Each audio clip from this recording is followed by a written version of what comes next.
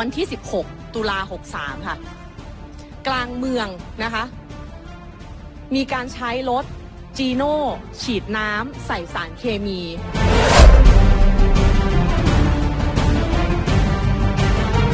คนที่อยู่ตรงนั้น มีอาวุธมากที่สุดก็แค่ล่มเท่านั้นนะคะท่าน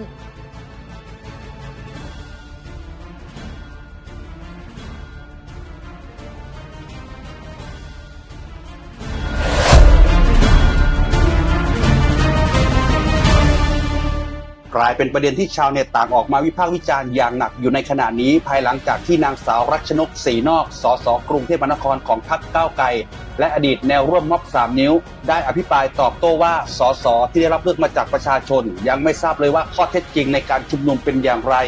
ไม่เคยเข้าไปร่วมกับผู้ชุมนุมแม้แต่ครั้งเดียว แต่กลับพูดได้เป็นตุเป็นตาว่าอยู่ในเหตุการณ์ และว่าผู้ชุมนุมมีการใช้ความรุนแรง เจ้าหน้าที่ถึงต้องใช้มาตรการในการตอบโต้ ตนเข้าร่วมการชุมนุมตั้งแต่แรก และอยู่ในเหตุการณ์ ประชาชนผู้ชุมนุมด้วยความสงบ ถึงเวลาเราแยกย้าย แต่เหตุการณ์ความรุนแรงเริ่มมาเรื่อย จากการใช้โล่กระบองผลักดันฝูงชน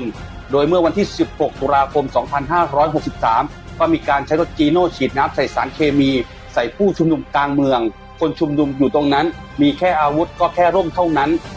อย่างไรก็ตามครับสื่อดังครับก็ได้มีการออกมาโพสต์คลิปเหตุการณ์ สวนไอรัชนก ซึ่งเป็นคลิปขณะกลุ่มผู้ชุมนุมเผชิญหน้ากับเจ้าหน้าที่ตำรวจคุมฝูงชน ที่มาสลายการชุมนุมแยกปทุมวัน เมื่อวันที่ 16 ตุลาคม 2563 ซึ่งในคลิปจะเห็นว่าหนึ่งในผู้ชุมนุมครับได้ใช้ครีมตัดเหล็กขนาดใหญ่ ตีใส่โล่ตำรวจคุมฝูงชน ไหนบอกว่าผู้ชุมนุมมีแค่อาวุธเป็นล่มเท่านั้น ดิฉันคือคนที่อยู่ในเหตุการณ์นะคะ ประชาชนชุมนุมกันเรื่อยมาด้วยความสงบ ถึงเวลาพวกเราก็แยกย้ายนะคะ แต่เหตุการณ์ความรุนแรงก็เริ่มมาเรื่อยๆ จากการใช้โล่กระบองในการผลักดันฝูงชนนะคะ เริ่มมาเป็นวันที่ 16 ตุลา 63 ค่ะ กลางเมืองนะคะ มีการใช้รถจีโน่ฉีดน้ำใส่สารเคมี ใส่ผู้ชุมนุมนะคะ กลางเมืองเลยวันนั้นสยามพารากอนค่ะท่านประธาน ฉีดไปไม่รู้โดนใครบ้างนะคะ ทั้งผู้ชุมนุมทั้งนักศึกษามหาวิทยาลัย จุฬาลงกรณ์ทั้งคนที่ไปร่วมช้อปปิ้งอยู่แถวๆนั้นนะคะ นี่คือข้อเท็จจริงที่เกิดขึ้น คนที่อยู่ตรงนั้น มีอาวุธมากที่สุดก็แค่ล่มเท่านั้นนะคะท่าน อย่างไรก็ตามครับภายหลังจากโพสต์ดังกล่าวได้มีการเผยแพร่เป็นสาธารณะ งานนี้ครับก็ทำเอาเราบรรดาชาวเน็ตต่างเข้ามาแสดงความคิดเห็นกันอย่างมากมาย อาทิ วันนี้ก้าวไกลโกหกอะไร